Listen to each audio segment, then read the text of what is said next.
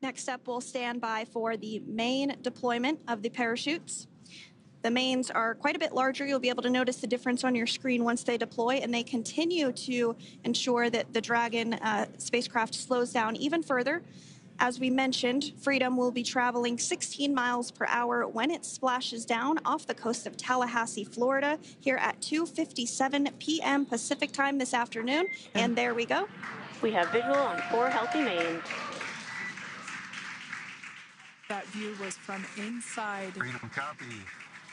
And That view was from inside one of the buckets where the parachutes are located. So we see a great view there of the reefing on those parachutes. And as those parachute, those main parachutes begin to inflate fully, four beautiful, healthy mains. Now awaiting visuals of splashdown. Tech Freedom, 1000. We'll start to hear Commander Nick Hague Copy 1000.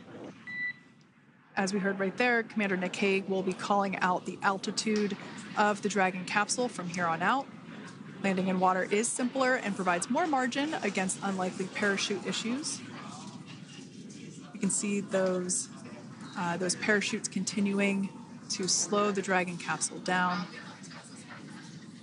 And if you're just joining us, you're looking at 800 meters. a live view of Crew 9 just minutes away from splashing down off the f- coast of Tallahassee, Florida. Splash down two minutes from now at 2:57 p.m. Pacific. We do have four healthy mains really doing the job there. Just breathtaking views of a calm, glass-like ocean off the coast of Tallahassee, Florida.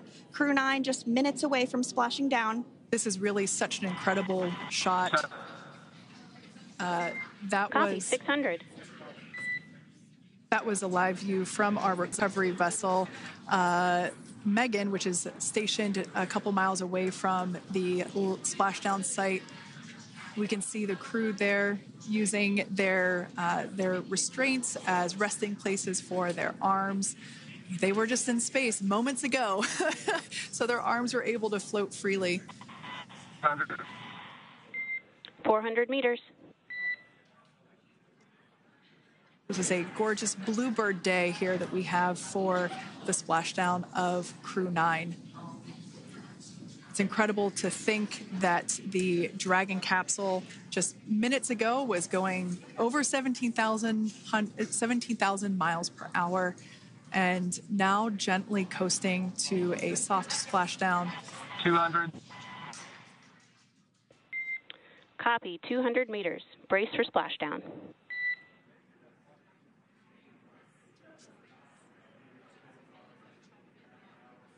As you can see there on your screen, continuing to monitor progress of the Dragon spacecraft. And we're going to stand by for splashdown located in the Gulf of America um, off the coast of Tallahassee, Florida.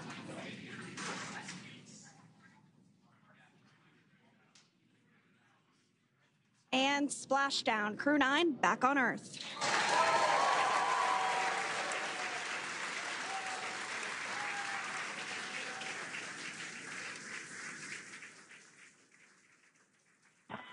And Freedom, splashdown. Good main release.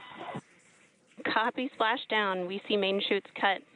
Nick, Alex, Butch, Suni, on behalf of SpaceX, welcome home.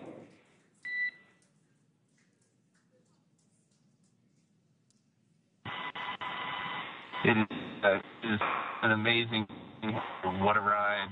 I see a capsule full of grins ear to ear.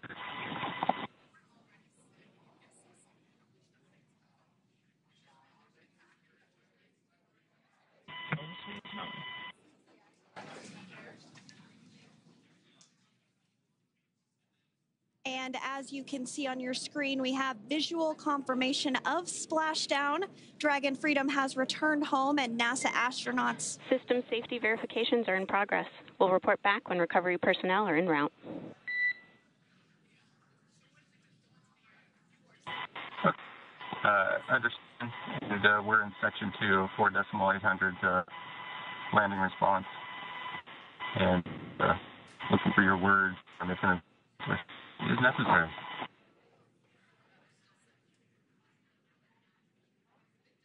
In the distance, we can see the recovery vessel making its way. Copy, you're in section two for the environmental assessment in 4.800. That is not necessary today. Understand. Raise five. So we will continue to have communications between the Corps and Nick Hague, the commander of Crew Dragon Freedom, which just splashed down two minutes ago off the coast of Tallahassee, Florida. Dragon Freedom has returned home with NASA astronauts Nick Hague, Suni Williams, Butch Wilmore, and Roscosmos cosmonaut Alexander Gorbunov. They're back on Earth after approximately 17 hours of a return journey from space.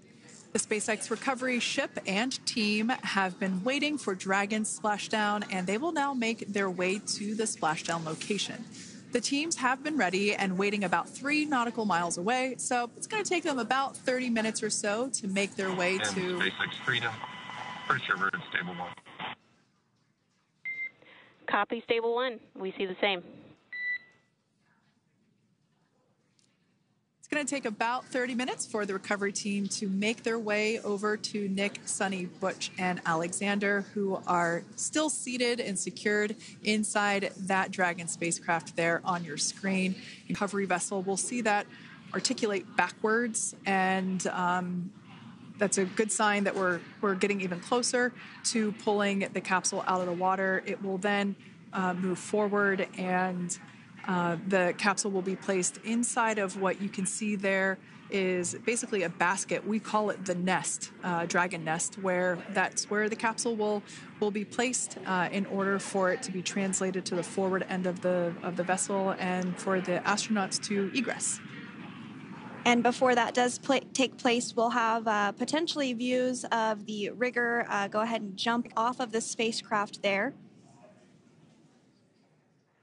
That typically occurs when the spacecraft is a little bit closer to the recovery vessel, and we usually get a really good view of that uh, particular operation from one of the onboard cameras from that is uh, an operation that I, I have a lot of respect and admiration for that individual that uh, that does that um, we can see that individual now standing in the bucket where the main parachutes were stored while Dragon was on orbit.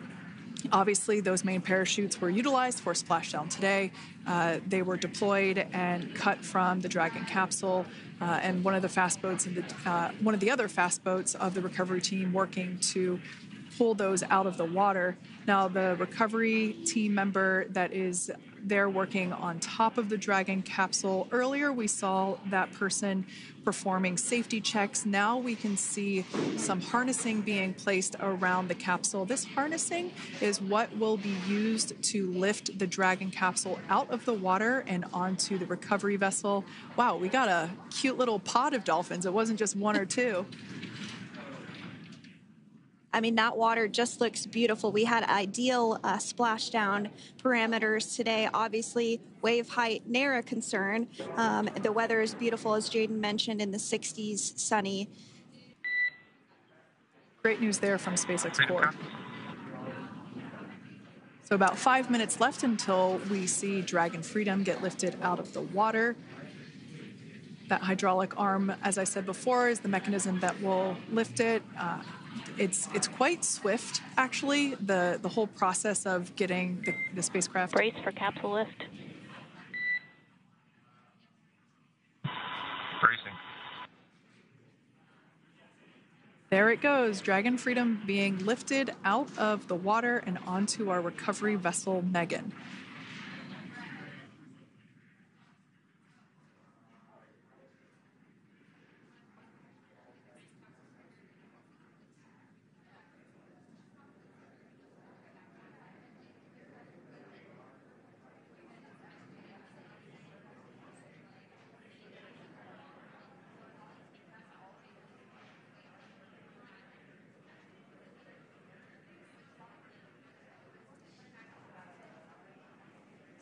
So once securely on, uh, Welcome aboard the recovery vessel.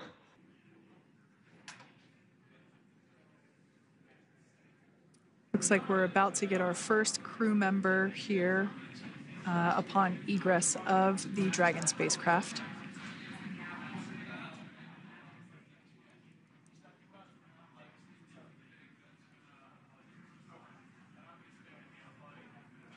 So we are standing by for that egress. Outside of Dragon, you do see one of those stretchers. This is the expected procedure as the crew will be taken to medical facilities following their exit from Dragon.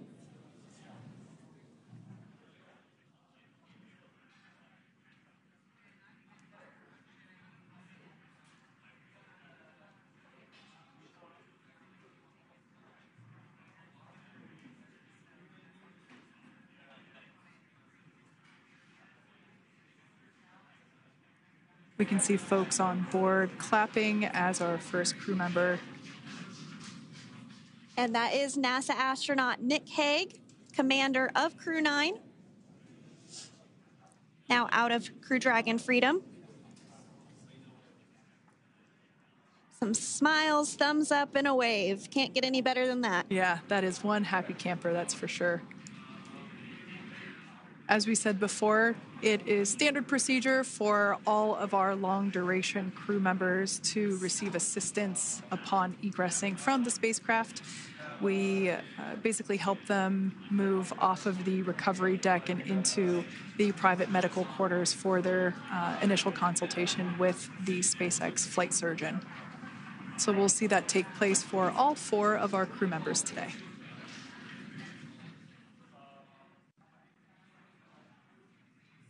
Slid down the little ramp and placed into the mobility aid. Once again, big smile.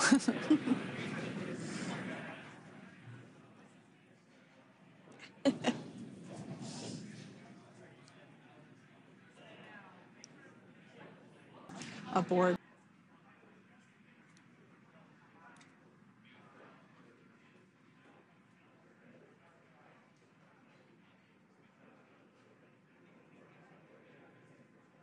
Down. Oh, looks like we're getting our next crew member here. That is none other than Suni Williams. Big smile, big waves. She, like her other crew members, now uh, will be assisted onto the mobility aid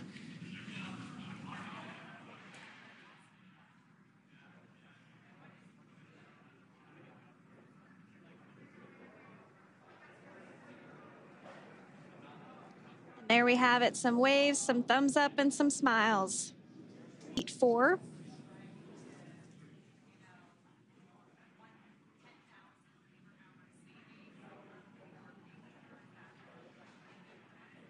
We're getting some views of him now as he egresses or exits the spacecraft.